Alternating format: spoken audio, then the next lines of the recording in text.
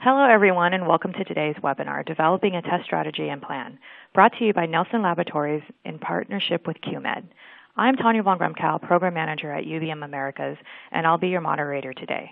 We have just a few announcements before we begin. This webinar is designed to be interactive. Each widget within the dock at the bottom of the console will open in a different window for you to view additional resources, speaker bios, and an overview of the webinar. There are several social media widgets for you to like, share, and talk about the content with your peers and communities. At the end of the program, we will ask you to complete a short survey. Please take a moment to fill this out. Your feedback will provide us with valuable information on the subjects covered in this webinar and how we can improve future events. You can also launch the survey at any time by clicking on the survey button at the bottom of the console. The slides will advance automatically throughout the event. You may also download a copy of the slides by clicking on the PDF labeled download slides located in the additional re- resources widget. If you're experiencing any technical problems, please visit our help guide by clicking on the help widget. Now on to the presentation. Discussing today's topic will be Thor Rollins, biocompatibility expert, and Martell Winters, senior scientist at Nelson Laboratories. Martell, I now hand it off to you. Thank you, Tanya. This is a topic that uh, Thor and I find very interesting in that it it often ends up being uh, if if it's not quite done right, often ends up being a a problem for people and and we end up getting to having the opportunity to help them through it. So we're excited to be able to provide some thoughts and some guidance on on how to best approach this. So the uh, just quick overview. We're going to talk about big picture test strategies and then get a little more detailed on test plans. We'll talk about testing sequence and uh, the, the best or what your options are as far as uh, the sequence of tests go, and then end up with biocompatibility considerations and some examples. So starting off with the test strategy and plan. So everybody wants to have a good interaction with the FDA. That that's everyone's eventual goal. And the the best way that, that we've seen to accomplish that goal is to have a, a very effective test strategy and to have that strategy established early in the process. And we've found that when it, when it's done that way, that it does facilitate a, a good interaction with the FDA. Now, the strategy and plan normally should be somewhat iterative, meaning that uh, initially you will create what you think is the proper strategy and plan, and based on input from experts or others in the industry, and then eventually, if you're doing it right, then feedback from FDA will also give you ideas on how to improve that. So then you go back and adjust the strategy and test plans as necessary. Now, I'm, first I'm going to cover a handful of things that we strongly recommend be addressed during product design the times when we have when we're working with people who are having the most problems, it's when these things are addressed after the design has been completed and somewhat set in stone. So you notice I underline during, and so that, that's I, I want to put a lot of emphasis on addressing these things during the design of the product. So the, the first thing to talk about is the, this desired sterilization method with a knowledge of the sterilization method that you want to use, you can then more easily select appropriate materials. Now, sometimes the you might have the materials that you select drive the sterilization method, and that's appropriate as well. You know, compared to the option I'm providing here, which is that the sterilization method drive the materials. The problem is if you get too many materials and these more complex products we're seeing now, if you're not if you're not keeping sterilization at the forefront of your mind as you're going through this process, then you might end up with a product which is not able to be sterilized using using traditional methods. So an example, if I know that I'd like to irradiate a product, and as I'm going through the selection of materials, if I know that I could either use polypropylene or polyethylene, then based on our knowledge of of the radiation compatibility of those materials, I would want to use polyethylene rather than polypropylene. However, uh, if I was using a, if I wanted to use steam sterilization, then and could use those same materials, I would want to use polypropylene because of its ability to survive the the uh, this, the high temperatures. Now, this type of information is available in an AAMI document called AAMI TIR 17 on material selection for sterilization. It's a great document, a great resource for selection of materials. So the next thing, and these are not necessarily in any particular sequence, so another thing important to keep in mind during product design is uh, when you have an idea what your sterilization method is going to be, then also keep in mind the actual product design itself. The final design of some products can make it very difficult or very easy for the validation of the sterilization process, depending on, on how that ends up. For example, if you if you decided to use steam sterilization and if you selected materials that can be steam sterilized, then the next question to ask is is the design of the product such that the steam can get everywhere that has patient contact, or are there areas which might have patient contact which uh, which would occlude the steam?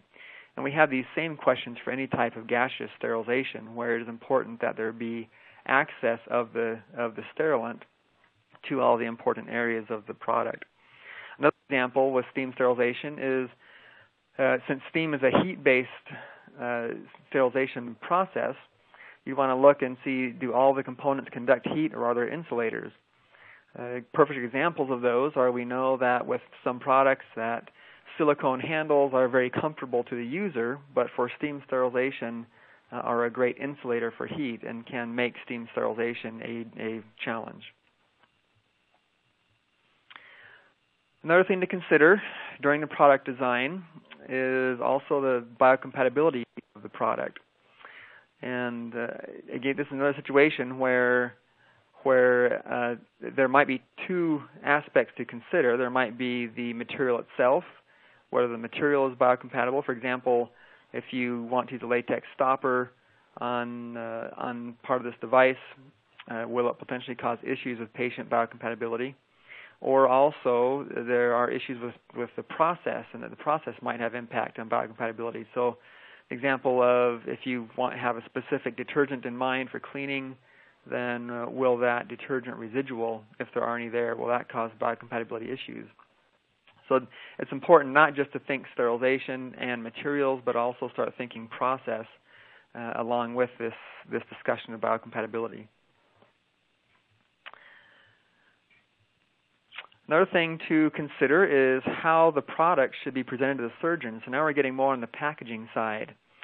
The the intended means of of use from a surgeon's standpoint can help you to determine what the best packaging would be to make it easier for the surgeon to use. For example, if the surgeon will directly remove the product from the packaging and use it without any uh, without any other any other changes needed, then a tray with a lid is good because a surgical technician can hold the tray and pull the lid back, and the surgeon can easily remove the device. But uh, if the surgical techs need to perform, do some assembly or do some manipulations of the product prior, then a tray could work, but you could also use a pouch. And when that pouch is open, the pouch can provide an additional sterile surface uh, that the that the tech can use as they're performing those manipulations. Now, I've kind of covered the big picture issues that we see uh, causing the biggest problems, and in developing these these this strategy, the, we like to emphasize that you involve experts in these discussions and in the development of this of these strategies and uh, hopefully there's some some degree of expertise with some of this inf- for some of this information or perhaps all of it internally. But if not then the time to get experts involved is during the process design and not after. And we're talking about experts in topics like biocompatibility uh, microbiology so that would be industrial microbiology in sterilization, especially whichever method of sterilization you selected, but you will likely need a, a good generalist in sterilization if you're if you're selecting the sterilization method, and experts in packaging. Now we're assuming that experts are already available for product design. And when we talk to customers, we we nearly always see that they have great people involved in product design, but sometimes what is lacking is these other experts to help the the design people understand the best approach to take. Well, now you have your general strategy established, and now it's time to get a little more detailed and start putting together your test plan and then to write rationales. So the, the test plan means that now you're starting to get a little more a little more specific on what types of tests and are going to be performed for each of the, these big ticket items like biocompatibility, sterilization, packaging, so and shelf life. And right with those are are determining what, what the rationales or which rationales need to be written and placed in the file. And this is where we see things most lacking with device companies is proper rationales established in the, in the design file. So an example of rationales, if you uh, if you decide that rather than some of the costly or lengthy biocompatibility animal studies that you might want to do material characterization instead, and that is becoming increasingly common, but it is not something that can be done lightly, and a well-written rationale is critical to be able to do that properly. Other topics, other examples would be product families for sterilization and, and a rationale to explain the approach taken and why those products can be part of the same family, and, uh, expiry dates is another example. So with rationales, the reason we say that rationales are what we see lacking most, uh, because it, think think in your mind if any of these questions ring a bell to you. Things like someone asks, "Why are we doing it this way?" And the answer is, "Well, that's what we've always done." Or another thing we hear is, "Well, I really have no idea." And and we always recommend when we have these discussions that customers go back and dig through the original files and see what they can find. And, and seldom is any rationale found to describe uh, why certain decisions were made. So we strongly recommend that rationales be be put together.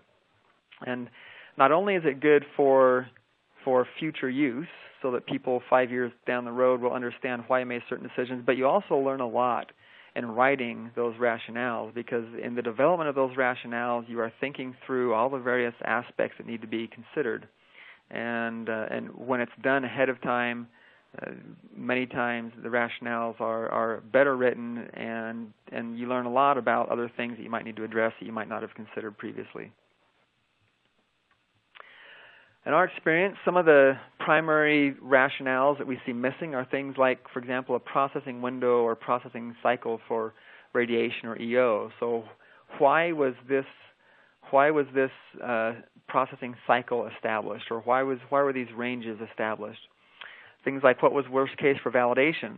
So why did we select this product as opposed to some other product for validation purposes? When it comes to package testing, uh, for example, why did we select bubble emission and seal peel? And uh, in future testing, in all these examples, in future testing, is often wise if things need to be repeated repeat the same tests. But if it does not appear that the tests were selected properly, then then um, it can it can become difficult to understand how you know, what approach to take. What is the basis for the product family? So if I have an established family and I want to add products to that family, if I am uh, if if I don't understand what the original rationale was, it can be very difficult to to add new products. Why don't we perform endotoxin testing? And another example would be why do we test this part of the device and not other parts? These are all things. These are just examples, and I'm sure uh, as you think through this, you're probably thinking of other situations where if you were to go back and try to find why things were done, that you will that there will not be information present. It's very common. Okay, so now we have the we've thought through everything. We have our rationale put together. We have some specific test plans established, and we have rationales written. And now it's it's time to take this to FDA and try to get some good feedback from them. Now, uh, Thor and I have both been in meetings with FDA personnel where they have repeatedly mentioned, you know, please let us provide you with feedback before you start doing testing and, and send in your your submission. The uh, so the what we're saying here is the ask forgiveness rather than permission approach is really not a good approach with FDA interaction. So send in your submission. There are a couple approaches you can take in, in doing this with FDA. You can have an informal pre-submission discussion, and uh, the, that can give you quick feedback. But the problem is these are not binding. If it's an informal discussion, you can also request what what is called a Q sub or a pre sub uh, type of meeting, and those, the benefit to those is those are official, and FDA records the outcomes of that meeting, and so they are binding. And it's it's a great way to get feedback and then go through your and, and make any necessary changes before you start spending money and time on testing. So now you're ready to test. Now testing does take time, as you know, and this is another thing that we see uh, companies that that uh, sometimes don't t- quite take advantage of of doing things to accelerate the testing process. Now, some of this testing can actually be done in parallel. For example, the biocompatibility, the package validation, shelf life, and sterilization validation, all of those can be done in parallel rather than in sequence. And uh, it needs to be done properly, and you are making some assumptions to do this. So as long as those assumptions you feel are safe, then that can be done. It can really save a lot of time. So as an example, let's say you've determined that you want to use radiation on a device, radiation sterilization, and uh, everything you've done before indicates that this product should be able to be sterilized at 25 kilogray minimum. So then you have a typical 25 to 40 kilogray dose range. So you say, well, is that a safe assumption? One way to to determine, really the best way to determine if that's a safe assumption is to review any bioburden data. And if you don't have bioburden data, that can be easily and quickly determined to give you a basic idea, and that can help you understand that that indeed is a safe assumption. And second, uh, if you you look at the biocompatibility of the materials, many materials are fairly well characterized.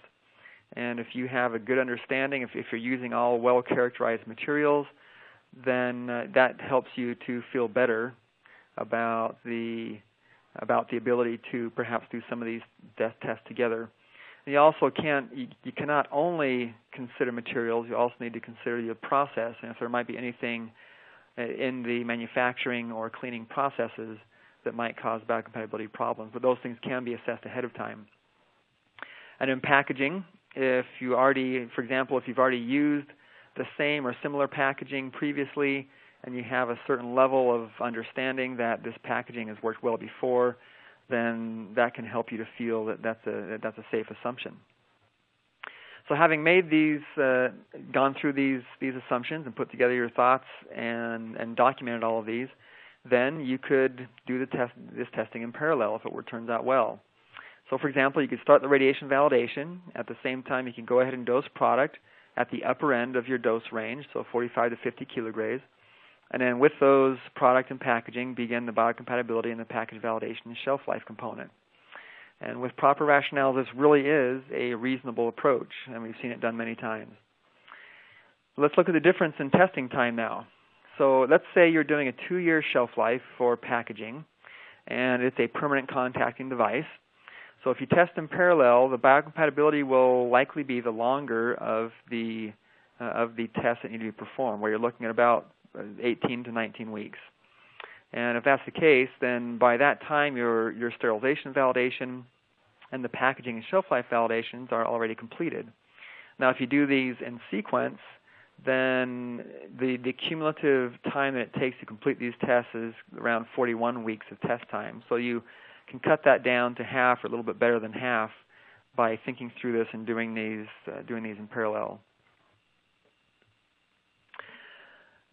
So I'm going to switch topics just a little bit and, and talk some now about about microbiology, some specifics there. We are seeing a, a trend beginning in the industry. It's it's been going for a few years now, with both the device side, which is primarily driven by AAMI and ISO, and by the pharma side, which is driven primarily by USP.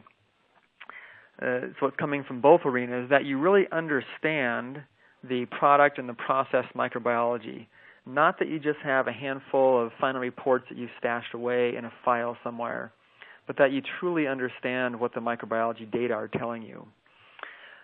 So that means that that in developing your process and in selecting your raw materials, you need to be smart in dealing with the microbiology aspect of those. So, for example, uh, on the pharma side, with USP 61 and 62, which is the uh, the test for it used to be called microbial limits, where you're it's for a non-sterile product, but it needs to be cleaned to some level.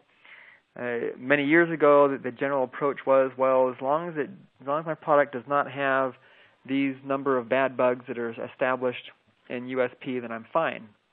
But we're seeing increasing increasing scrutiny put not just on the absence of those bad bugs, but also are there any other microorganisms on the product that might be present in higher in, in high numbers? For example, if I have a different bug there at 3,000 CFU, it's not on the list of bad bugs, but but that that that microorganism needs to be considered to determine if if it still might cause a potential problem. So this means that that from with regards to microbiology, there are a few important things to consider. And one of them is looking at your component and material suppliers. So, uh, what what we hear quite often when we're dealing with customers is when they are dealing with a microbiology problem on their finished product, and we suspect it might be coming from one of the raw materials or one of the components. When we ask them, so you know, which of these which of these service providers or which of these uh, companies have you audited? And in most cases, what we hear is none of us have ever been there. And I, I'm not saying that you necessarily have to perform a microbiological audit and assessment of every single supplier, but certainly with a knowledge of the processes that your suppliers use and with a knowledge of which might be more critical to your finished product, it would be important to have a microbiological assessment done there and to have controls and agreements in place and to have very strict change control with these with these customers or with these suppliers to make sure that they're providing you with notifications of change. So in the manufacturing and assembly process, what this means there is uh, that expertise needs to be available and time needs to be spent to really understand the, environment, the environmental bioburden now, normally it's understood that there's no direct correlation between environmental bioburden and product bioburden. And as long as the environment remains under control, that is that is nearly always the case. However, this is, is still important that to, to understand the environmental bioburden as it is a component of your control process. And then to understand the product bioburden itself.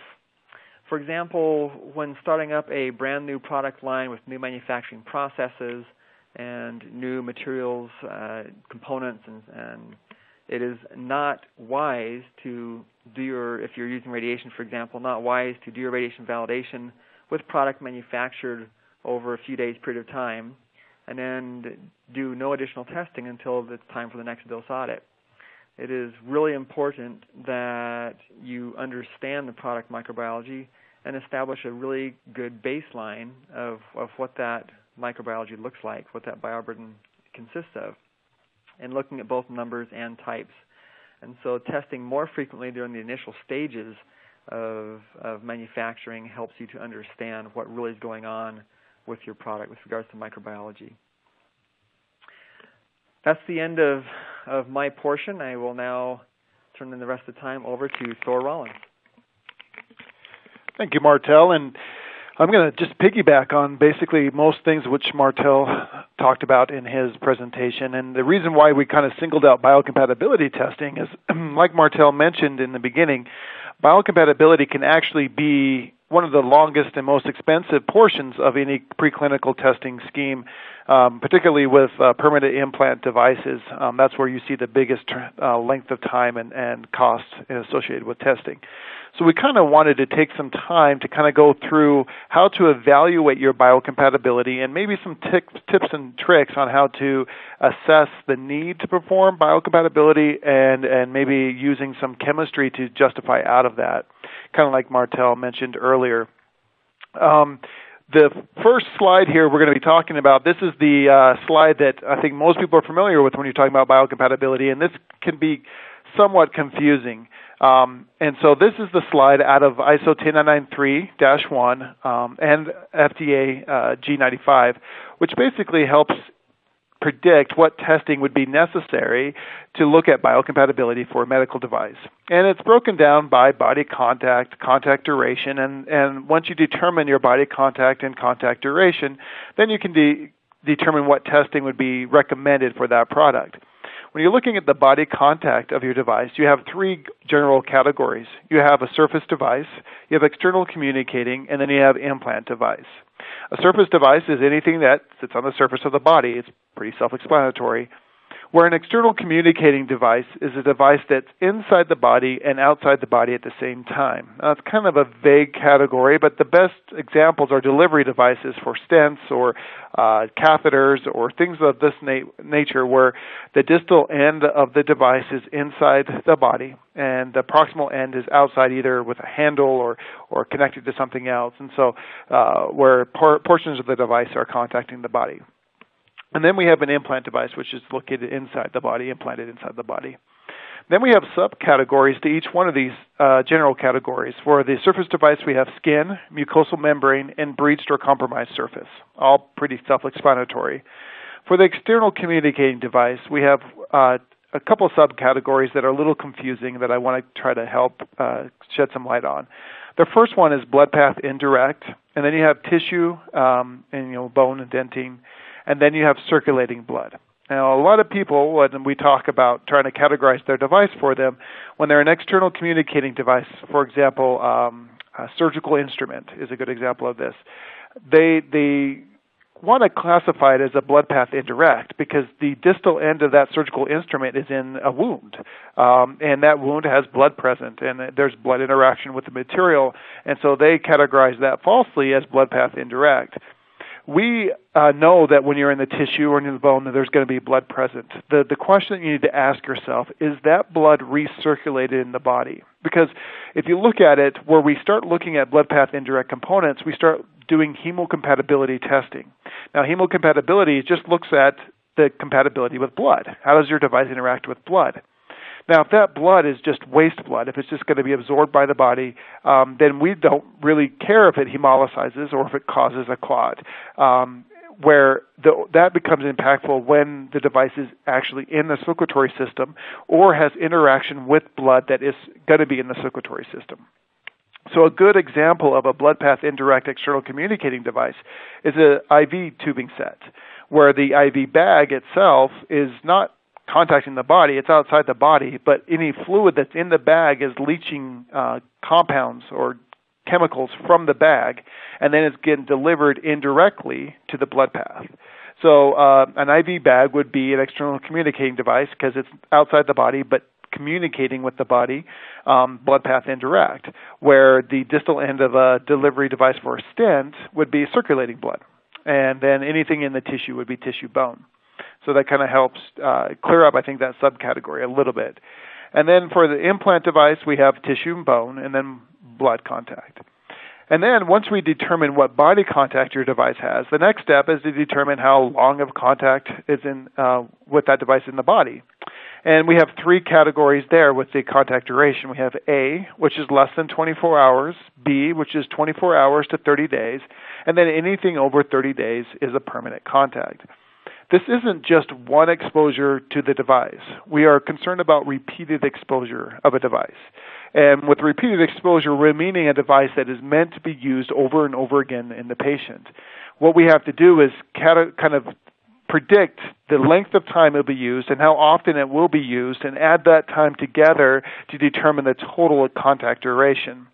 Each one of those contact durations then help us determine the testing that is needed. And on the top of that uh, chart, you get to see the different categories for the tests, uh, ranging from cytotoxicity all the way to carcinogenicity. Now, some of these categories only have one test that you have to perform. Others might have multiple tests depending on each category and the requirements by the FDA. But this will at least allow you to start to develop a test plan, like, like Martell mentioned, to be able to determine what biocompatibility endpoints are needed. Now, in the past, this chart has always been seen as kind of a checkbox mentality, where it's like, okay, I need to do the big three: the cytotoxicity, sensitization, irritation. Check, check, check. Or um, I need to do these five tests. Check, check, check, check. In the latest draft that was released about a year and a half ago from the FDA, um, it, it mentions in there that this is not meant to be a checkbox. As Martell mentioned in his presentation, the biocompatibility is, is progressing towards more of a scientific approach to these categories. So what we're saying is that these endpoints should be evaluated. That evaluation could be testing, um, or it could be that you need to evaluate the risk of your certain device and the materials and the processing involved to that endpoint. Uh, a good example is this sensitization. You know, sensitization is an endpoint for all these devices It's one of the big three. There are very few materials or processes that are true sensitizers. And so if you are using a, a very simple device with very simple processing, it may be appropriate to address this concern by looking at the potential of the materials and processes to elicit a sensitization response. And if you can find uh, substantial proof that you are not in, uh, using a sensitizer in your product, then that might be the approach that you take instead of performing the sensitization test. So just performing the actual test is not necessarily the option that you have to perform, that we can just evaluate each endpoint by different means. So with that implant driver, we look at it as classified as an external communicating device because the surgeon is holding on to the the proximal end of the driver, and the distal end is in the in the body. And then it has contact with tissue, bone dentine, and hopefully less than 24 hours if it's used correctly.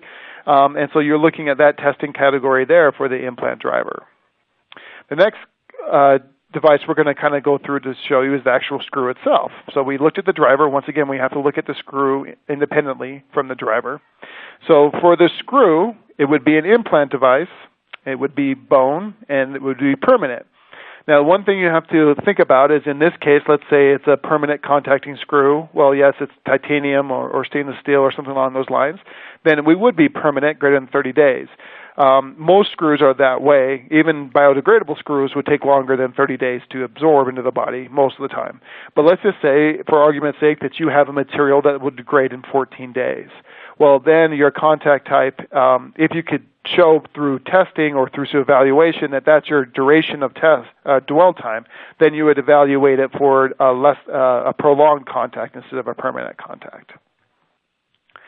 The next one we're going to look at is a condom, and the reason I put the uh, condom up here is because most people would classi- classify the, uh, a condom as a surface device um, either mucosal membrane, um, that's usually what's classified as, in less than 24 hour contact. So you're looking at the big three, and that's a very common test strategy for condoms.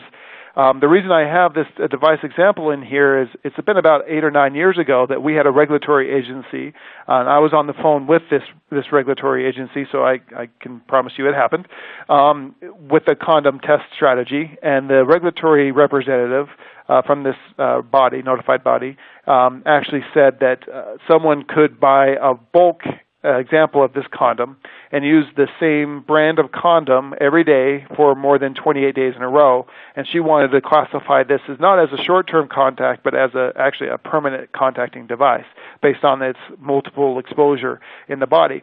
Now that's not common for condoms. Most of the time they are just the big three. But I put this example in here to show you that that because this is a good example of a reason why we need to, to kind of give our test plan to the FDA or any notified body beforehand, because even though we may all agree that a certain device sits in the category, it doesn't mean that uh, your notified body will also agree on that. So, kind of running through this test scheme with them beforehand will help get away from any risk that may be there from a disagreement with the categorization. The last one that we're going to talk about is an oxygen tube. And in this particular real life scenario, the oxygen tube was hooked to an oxygen tank that uh, was not supplied by the, the, the sponsor of the tube, and then it was hooked up to a sleep apnea mask. So they did not make the mask either; they just manufactured the tube. Now, at this, and this was a couple years ago also, they were expecting to do no testing since it did not have contact with the patient. Um, we convinced them to do the big three um, as a precaution based off of contact with the body, the skin, or whatever it may be. Now, the um, FDA in this case came back and uh, told them that this oxygen tube should be classified as an external communicating device because the oxygen can mimic uh, liquid extract that be pulling compounds from the plastic into the patient's uh, respiratory system, specifically lodging particulates into the lungs. And so they wanted to see implantation and some um, sub- uh, subchronic toxicity. This is actually something that we see very commonly nowadays with oxygen tubes or, or ventilators or other things that are uh, gas path, especially heated gas path devices the FDA is considering these gas path devices as external communicating devices based off the fact that they could be delivering chemicals to the body. So, just another example of how we may disagree sometimes, or, or I don't want to say disagree necessarily, but look at things differently from a regulatory body on how a device is categorized, and um, that's why it's important to kind of address those beforehand. Now, very quickly, looking at how we want to go about with the testing plan, the very important part of a biocompatibility testing plan is a sample preparation. The reason I say that is because once we get an extract of a device or once we start to test a device, those tests are done almost exactly the same no matter what lab you use across the world. They're very standardized testing that's been around for decades. Where variability arises is with the sample preparation. And so you have to pay special attention to how the device is going to be prepared and make sure that that portion of your protocol or your test proposal is written very well. And that's where you need to address or have a conversation with an expert in industry to make sure you're addressing every endpoint you need to for sample preparation. The example I'm going to give you today is the difference between surface area and weight and the impact that those two, which are both in the ISO 10993-12, which is the standard for sample preparation, both are valid um, ways to address sample preparation for a medical device in that standard. So you get to choose one or the other. Now, here we have a partial knee implant made out of titanium and hard plastic, a very common kind of device. If we look at it by the weight ratio in the standard, by, by using the mass to determine how we're going to test the device, this device weighs 93.9 grams, and the ratio in the standard is 0.2 grams per mil. So if we extract this device per that weight standard, we would extract it in almost 500 mils of media. So we would put this device into almost half a liter, um, or excuse me, 500 mils of media, and let's see what chemicals might come off the device and test that liquid. If we use the surface area method to do the device testing, then this surface area is 115.8 centimeters squared. So using the correct ratio in the standard, we would add almost 40 mils of extraction fluid. So the same device, same standard we're following, um, gives us totally uh, different volumes of media that we would extract in. So by weight, we would add 500 mils by surface area, we would only add 40. What that means is if we do it by surface area, then we have a 12 times more concentrated extract than we do by weight, which means it's a way worse case for testing. And for this reason, the FDA prefers surface area over weight. And if you ever do a device by weight, be prepared to try to justify why you chose weight as your as your method of testing. It's a very hard justification to make. We've done it before. There's certain ways we can look at it, but uh, it's better just to do surface area. So please pay close attention to preparation on a device because this is where you're going to probably have the most um, questions risen. Another example of this is once we find out how much volume to add to the device, the next thing we have to determine is how long and at what temperature we, we extract it. So the extraction will pull off those chemicals off the materials and the residuals off the device to test and we could put it in at 37 degrees, which is this is all Celsius, so 37 degrees Celsius is body temperature, or we could put it in for 121 degrees uh, for one hour. And each one of these extraction parameters are in the ISO 10993. Now, besides cytotoxicity, which uh, with cytotoxicity you have to extract at 37 degrees for 24 hours uh, because of the, the test method itself. Other than that, the temperature is very important to regulatory bodies, specifically the FDA. The FDA likes to see 50 degrees for 72 hours. Uh, they want to see, especially if your device has longer than 72 hour contact with the body, because we want to elevate that temperature to see a worst case exposure if your device has more than 72 hours. So to conclude, the test strategy and test plan are a critical step in any device uh, test plan, uh, test strategy. And as Martell mentioned earlier, it is important to have competent people that in, involved in that test plan setup before you submit it to a regulatory agency for either review or if you want to submit it for testing itself. You have rationales in place for all these endpoints when you're looking at uh, preclinical testing. Make sure you know what you're doing and why you're doing it. Um, Mike Martell said so many times we hear, "Well, that's what we've always done," or "I have no idea why we chose this this this method." please make take the time to put those rationales in place. It's a great educational piece for you, and any other person going along will look at your scientific rationale and why you chose each endpoint. And please obtain regulatory body involvement. I've talked to I've talked to FDA, I've talked to Japan, I've talked to um, uh, notified bodies in Europe, and all of them have expressly uh, recommended that they get uh, involved in this process early. They'll be able to get feedback before you do expensive and long-term tests. Thank you so much for your time today, and uh, here's our contact information if you have any questions or any um, uh, need any help with this evaluation. And now we'll go ahead and turn the time over to Tanya for uh, the rest of the time. Thank you, Thor and Martell, um, for the value information on developing a test strategy and plan. Uh, for upcoming webinars and for the archive of this webinar, please visit qmed.com. This webinar is copyright 2015 by QMed. The presentation materials are owned by or copyright by Nelson Laboratories. The individual speakers are solely responsible for their content and opinions. On behalf of QMed and our sponsors, Nelson Laboratories, thank you for attending and have a great rest of your day.